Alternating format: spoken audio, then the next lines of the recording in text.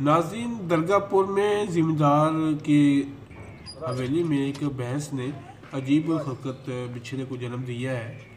یہ آپ دیکھ رہے ہیں، اس وقت سکرین پر وہ دونوں بچھڑے ہیں، ساتھ جڑے ہوئے ہیں جسم ان کے ساتھ جڑے ہوئے ہیں، بالکل۔ اور دونوں زندہ حالت میں ہیں، ان کی چھ ٹانگیں ہیں، دو سر ہیں۔ جو درمیان والی دو ٹانگیں ہیں، وہ کوئی کام نہیں کر رہی۔ اور یہ آپ دیکھیں، یہ اس کی بحث ان کی والدہ جو ہے وہ اسے پیار کر رہی ہے اور لوگوں کی بڑی تعداد اسے دیکھنے کے لیے دور دور سے آ رہی ہے۔ جیسے ہی لوگوں کو علم ہوا کہ چودھری نسخار کی حویلی میں بحث نے ایک عجیب الخلقت بچھڑے کو جنم دیا ہے، تو وہ فوری طور پر اس طرف چل پڑے۔ وہ دیکھنے کے لیے بڑی تعداد میں لوگ آئے ہوئے ہیں۔ یہ دیکھیں یہ بچھڑے بالکل زندہ ہے زندہ حالت میں آپ دیکھ رہے ہیں انہیں۔ اور یہ درگاہ پور کاموگی سے پانچ چھ کلومیٹر کے فاصلے پر ہے۔ تو یہ ایک بڑا گاؤں ہے۔ یہاں پر چودی نثار کی حویلی میں یہ بچھڑے دو جو جڑے ہوئے ہیں آپس میں، ان کے جسم بالکل آپس میں ایک جسم کی مانند ہے۔ آپ دیکھ رہے ہیں، اس کو اسکرین پر چڑھ رہے ہیں اور دونوں زندہ ہیں اور ان کی ماں بھی انہیں پیار کر رہی ہے۔ تو یہ دیکھیں، آپ لوگوں نے کھڑا کیا ہے انہیں، لیکن وہ درمیان والی ٹانگیں ان کی کام نہیں کرتی۔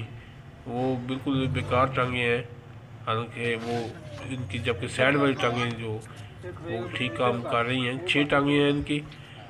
تو یہ دیکھیں لوگوں کی بڑی تعداد جو ہے، بچوں سمیت یہ جیب الخلقت بچھنے کو دیکھنے کے لیے آ رہے ہیں۔ ناظرین، اس سے پہلے بھی کم ایک علاقہ ہے، وہ منڈیالہ تیگا اس کے ساتھ ہی ایک حویلی تھی۔ وہاں پر بھی ایک دو سر والا ایک بچھڑا پیدا ہوا تھا۔ لیکن اس کے صرف دو سر تھے۔ اس کی ٹانگیں تو پوری تھی، باقی وہ مکمل تھا۔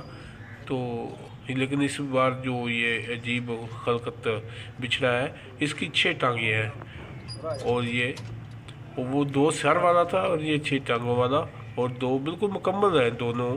اور لیکن ان کے پیٹ آپس میں بالکل فکس ہیں۔ یہ دیکھیں، کھڑے کر رہے ہیں۔ ان کے دونوں کے پیٹ آپس میں بالکل مکس ملے ہوئے ہیں۔ تو یہ کھڑے نہیں ہو سکتے۔ یہ اپنے پون پر کھڑے نہیں ہو رہے۔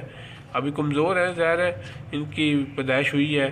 تو کچھ عرصہ تو ان کو پاور حاصل کرنے میں لگے گا۔ وہ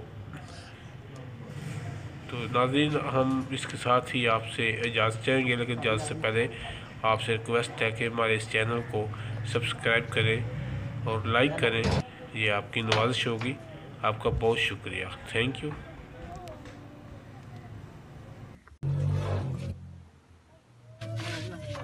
ਇੱਧਰ ਨੂੰ ਕਰ ਥੋੜਾ ਜਿਹਾ ਇਹ ਖੜੇਗਾ ਉਹ ਬਸ ਇੱਧਰ ਨੂੰ ਕਰ।